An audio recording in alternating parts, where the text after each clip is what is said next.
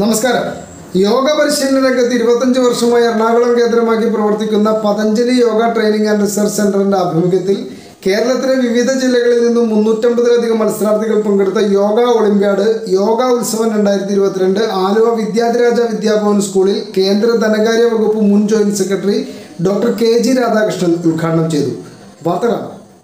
രണ്ടായിരത്തി പതിനഞ്ച് മുതൽ ജൂൺ മാസം ഇരുപത്തിയൊന്ന് അന്താരാഷ്ട്ര ലോകദിനമായി ലോകമെന്നും ആചരിക്കുന്നു. മറ്റ് പല വ്യായാമങ്ങളെ അപേക്ഷിച്ചും യോഗ തികച്ചും വ്യത്യസ്തമാണ്. നമ്മുടെ ശരീരത്തിന്റെയും മനസ്സിന്റെയും ചിന്തയുടെയും നമ്മുടെ പ്രവർത്തനങ്ങളുടെയും ഏകോപത്തിനായിട്ടാണ് ഐക്യത്തിനായിട്ടാണ് യോഗയിൽ നമ്മൾ ഊന്നൽ കൊടുക്കുന്നത്. യോജിക്കുക അഥവാ ഒന്നിപ്പിക്കുക ആ ഒരു കോൺസെപ്റ്റിൽ നിന്നാണ് ആ ഒരു- ആ ഒരു ആശയത്തിൽ നിന്നാണ് യോഗ തന്നെ രൂപപ്പെട്ട് വന്നിട്ടുള്ളത്. നമ്മുടെ ചുറ്റുപാടുമുള്ള പ്രകൃതിയുമായി ഒരു ഐക്യം ഒരു ഹാർമണി വളർത്തിയെടുത്തിട്ട് നമ്മുടെ തന്നെ വെൽബീയിങ് സമൂഹത്തിന്റെ പൊതുവായ വെൽബീയിങ് ഒരു നല്ല ജീവിത ശൈലി ഇത് വളർത്താൻ വേണ്ടിയാണ് യോഗ നമ്മളെ സഹായിക്കുന്നത്.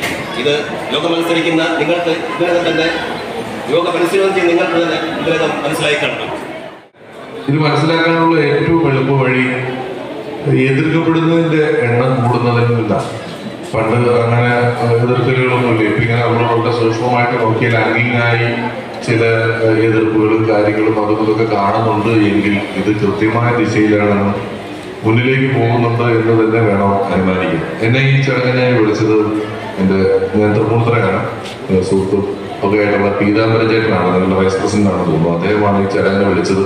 അപ്പൊ ചില ക്ഷണങ്ങൾ ഇന്നലെ ഏറെ വൈകിയാണ് ഷൂട്ടിംഗ് തീർന്നത്. ഇന്ന് പത്ത് പത്തരയോടുകൂടി അതിന്റെ ബാക്കിയുണ്ട്. ഇതിന്റെയൊക്കെ ഇടയിൽ നിന്നും ഒരല്പം സമയം മാറ്റി വെച്ചുകൊണ്ട് വരേണ്ടതുണ്ട്. ഇതിനെ എന്ന് തോന്നത്തക്ക രീതിയിൽ തന്നെയാണ് അദ്ദേഹത്തിന്റെ ക്ഷണം ഉണ്ടായത് അതുകൊണ്ടാണ് ഈ ചടങ്ങിലേക്ക് കൃത്യമായി ഓടി വരികയും ചെയ്തത്.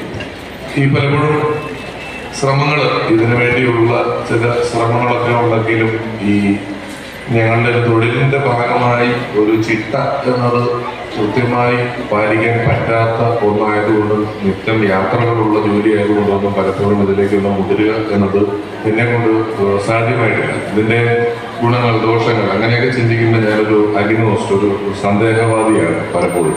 എങ്കിലും നമുക്ക് പരിചയമുള്ള പല ആളുകളും നമ്മുടെ വർത്തമാന കാലത്തിന്റെ ഒരു നീക്കുപോക്കുകൾ വർത്തമാനകാലം നമ്മുടെ മുന്നിലേക്ക് നീട്ടിവെക്കുന്ന ഒരുപാട് കാര്യങ്ങളിൽ ഒന്നാണ് അധികമായ സ്ട്രെസ് അധികമായ രോഗങ്ങൾ. ഇതിലെപ്പോഴും നമ്മൾ സമയം അഡ്ജസ്റ്റ് ചെയ്യുന്നത്. ഞാൻ പോലും ഇപ്പോൾ പറഞ്ഞതുപോലെ നമ്മൾക്ക് വേണ്ടിയുള്ള സമയങ്ങളിൽ നിന്നാണ് നമുക്ക് ഏറ്റവും കൂടുതൽ സമയം മാറ്റിവെക്കാൻ പറ്റുകയുള്ളൂ. അത് നമ്മുടെ ചിട്ട തെറ്റിച്ചുകൊണ്ടോ നമ്മൾ ഭക്ഷണം കഴിക്കുന്ന സമയം കുറച്ചുകൊണ്ടോ നമ്മൾ ഉറങ്ങുന്ന സമയം കുറച്ചുകൊണ്ടോ ഒക്കെയാണ് ഇത് പലപ്പോഴും അഡ്ജസ്റ്റ് ചെയ്യുന്നത്. ഗ്രാമേ ഗ്രാമേ യോഗശാല. അനവധി തരത്തിലുള്ള കാര്യങ്ങൾ നമ്മൾ ഓരോ ഗ്രാമത്തിലും പട്ടണങ്ങളിലും കാണുന്നു.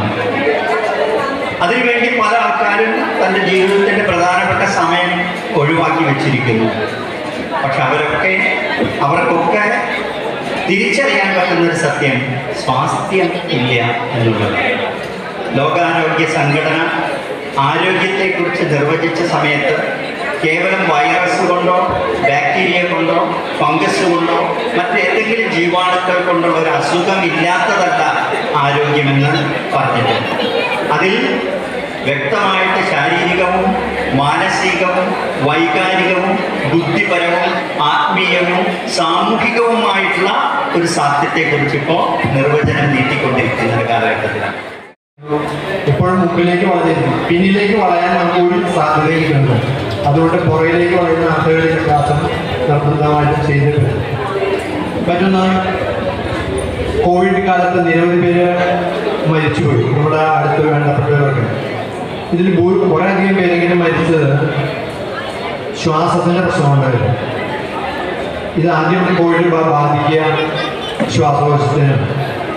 ശ്വസന ക്രിയകൾ ചെയ്തിരുന്നുവെങ്കിൽ എത്രയോ പേര് രക്ഷപ്പെട്ടു ശ്വസന ക്രിയകളും നിങ്ങളൊന്ന് അതിൽ ചേർക്കണം മറ്റൊന്ന് പൈതൃകം. അതൊരു വിപ്ലവ സംഘടനയാണ്. കാരണം വളരെ നിശബ്ദമായിട്ട് വലിയൊരു വിപ്ലവം അത് കേരളത്തിൽ ചെയ്തു കഴിഞ്ഞു.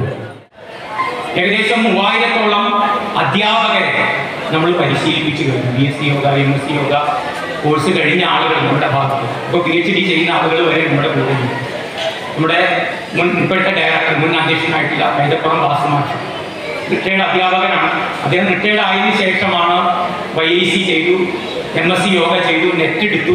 ഇപ്പോൾ പി എച്ച് ഡി ചെയ്തുകൊണ്ടിരിക്കുക പിന്നെ ഇപ്പോൾ പി എച്ച് ഡി ചെയ്യുന്ന ആളുകൾ തന്നെ മൂന്നോ നാലോ പേരുണ്ട് നമ്മുടെ നമ്മുടെ കോഴ്സ് കഴിഞ്ഞ ആളുകൾ അപ്പോൾ ആ നിലയ്ക്ക് ഇരുപത്തഞ്ച് വർഷത്തെ നമ്മുടെ പ്രവർത്തനം കേരളത്തിലെ എല്ലാ ജില്ലകളിലും നമുക്ക് പ്രവർത്തനം നമ്മുടെ പ്രവർത്തകരെ ക്ലാസ്സുകൾ നടത്തുന്നു പതിനായിരക്കണക്കിന് ആളുകളെ യോഗ മാർഗത്തിലേക്ക് ആനയിക്കുന്നു കൂടുതൽ വാർത്തകളും വിശേഷങ്ങളുമായി വീണ്ടും കാണാം. Harish Purushothaman life Kochi reporter.